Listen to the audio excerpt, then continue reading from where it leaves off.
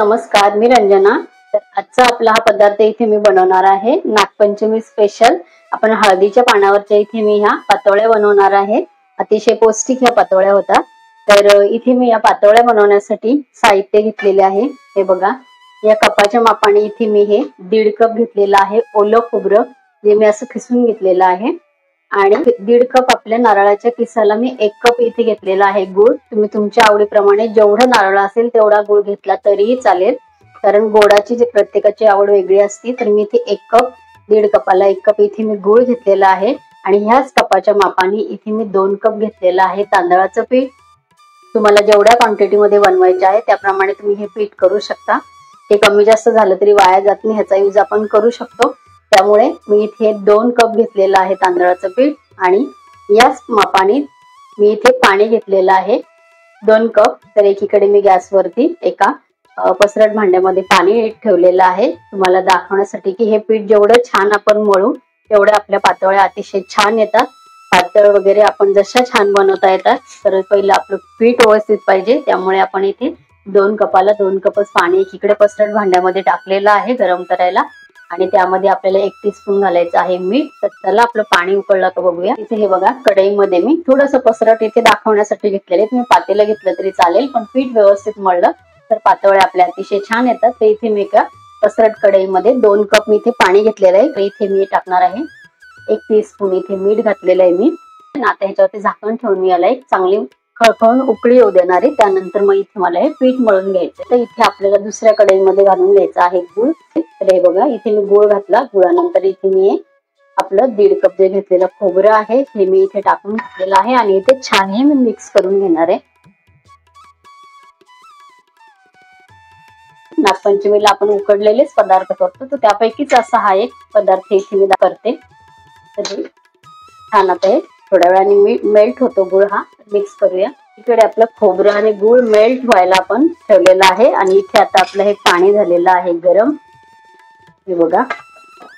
ह्याला छान आपली उकळी आलेली आहे. तर इथे आपल्याला घालून घ्यायचं आहे आपलं पीठ. हे बघा. हे पीठ छान फक्त व्यवस्थित आपल्याला घोटून घ्यायचं आहे. तुम्ही कशानेही घोटू शकता कालथाने घोटू शकता किंवा रवीच्या मागच्या दांड्याने घोटू शकता किंवा तुम्ही लाटण्याने घोटू शकता. कशाने? फक्त आपल्याला याच्यात छान हे पीठ आपल्याला मिक्स करून घ्यायचंय. आणि आता गॅस मी कमी केलेला आहे पीठ घातल्यानंतर. आणि आता हे छान आपलं एक जीव असं हे इथे मळून घ्यायचंय पीठ बघा.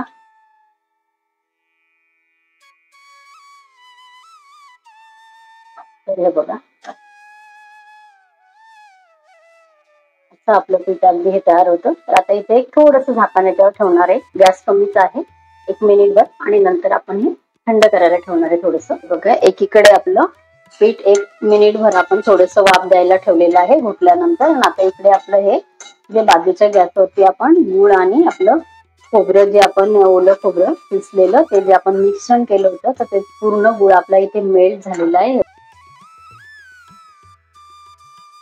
आता अजून थोडस आपण ह्यातलं पाणी जे जास्त ओलसर वाटतं आपल्याला गुळाचं तर थोडस अजून आपण असं हलवत राहूया. जरासं मिक्स करत करत आणि जास्तही आपल्याला घट्ट नाही बनवायचं इथे त्याच्यामुळे रसरसीत आपली पातळी लागली पाहिजे खाताना. त्यामुळे एकदम घट्ट गोळा आपल्याला याचा बनवायचा नाही एक थोडासा फक्त एक अर्धा मिनिट मी याला असं परतवून घेणार आहे. गॅस माझा फुलच आहे. तर हे बघा.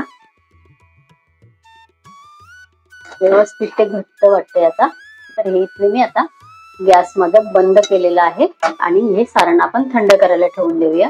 आपली कढई गरम असते गॅस बंद केल्यानंतर पण आपल्याला थोड्या वेळ हे जरासं हलवत राहायचंय कारण कढई अतिशय गरम असते. तर आपला गुळ खाली लागू शकतो आणि कलर त्याचा काळा होऊ शकतो आणि वासही त्याचा कडसर येऊ शकतो. तर एक थोडा वेळ अगदी थोडीशी आपल्या कढईचं टेम्परेचर कमी झालं की आपण ह्याला असंच मग उघडच झाकण न ठेवता आपण त्याला गारू द्यायचंय कारण आपल्या पातोळ्या वळायला आपल्याला हाताला चटका लागायला नको.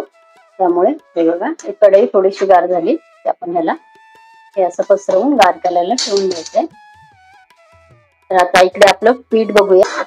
हे बघा आपली वाढ वाफ देऊन पिठाला छान झालेली आहे. एकदम छान आपलं पीठ मऊसूत झालेलं आहे हे बघा.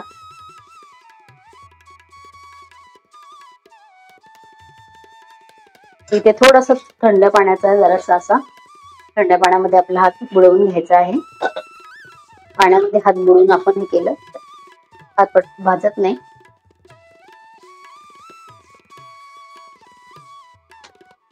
आपल्याकडे पूर्वीपासून नागपंचमीच्या दिवशी उकडलेलेच पदार्थ खातात तर बऱ्याच ठिकाणी बऱ्याच भागामध्ये वेगवेगळे उकडलेले पदार्थ असतात. उकडलेले पदार्थ शरीरासाठी चांगलेच आहेत. त्या दृष्टीने आपले पूर्वजांचे जे सण साजरे करण्याच्या पद्धती होत्या त्या अतिशय चांगल्या होत्या.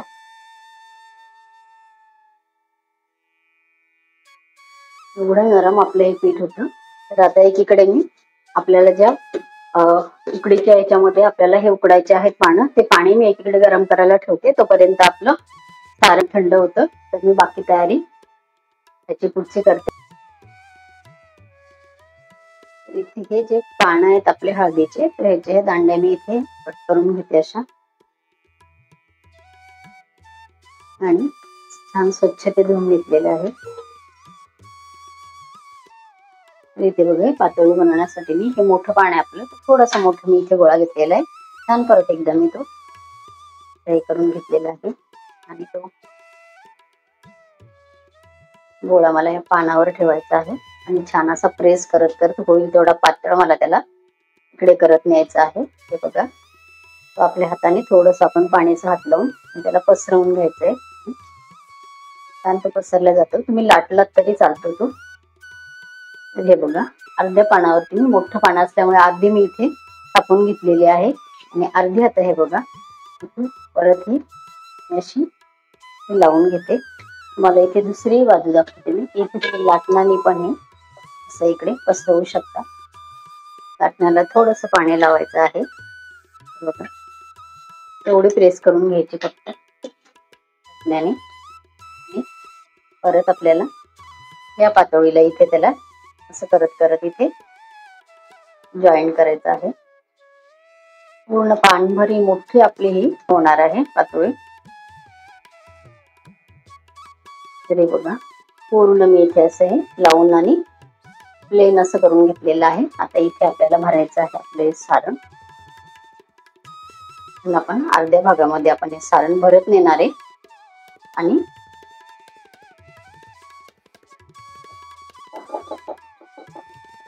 अतिशय छान या पातोळ्या होतात. नक्की करून बघा. मी लाटण्याने लंब करून आणि त्याच्यावरून लाटणं फिरवलं आणि नंतर थोडं हाताने प्रेस केलं तरी सुद्धा हे छान होत.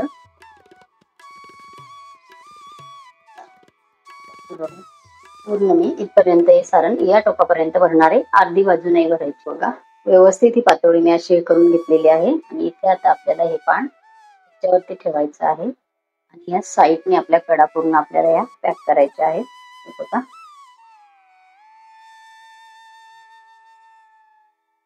आलेलं बाहेरचं पीठ आहे ते आपण नंतर काढून टाकणार आहोत. नाही काढलं तरी चालतं. काढलं तरी चालतं. पण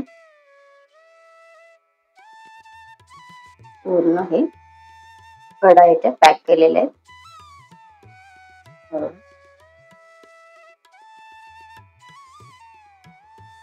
नंतर आपण राहिलेलं हे पीठ अशा पद्धतीने काढून टाकलं तरी सुद्धा चालतं. नाही काढलं तरी काही हरकत नाही. पात्रामध्ये आपण उकडण्याच्या मोदक पात्रामध्ये पाणी ठेवून आणि वरती चाळणी ठेवलेली आहे. हे बघा. तर अशाच प्रकारे मी सर्व पातोळ्या छोट्या मोठ्या भरून घेणार आहे. इथे मी खाली पाणी ठेवलंय. तुम्ही उकडायला ठेवणार आहे. अशाच मी सर्व पातोळे करून घेणार आहे. हे बघा. छोट्या पानावरती आपली पातोळी मी करून घेतलेली आहे. हे बघा. मला तसं खाली थापायला जमत नसेल तुम्ही या पद्धतीने हातावर असं करून आणि इथे ठेवलं. तरी सुद्धा चालतं. हे बघा. साईडच्या कडा आपल्याला थोड्याशा ठेवायच्या आहेत कारण आपल्याला तिथे पीठ दाबायचं असतं ते.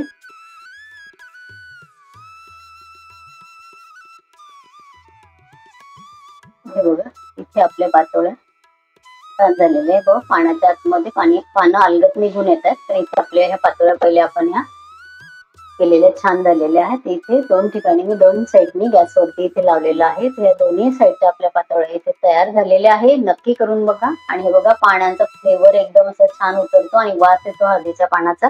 अतिशय पौष्टिक या पातोळ्या होतात. ह्याचं मी पान काढलेलं आहे. हे बघा अलगत आपली पानं हे दिसतात. व्यवस्थित शिरून थंड होऊ द्यायच्या आपल्या पातोळ्या त्या.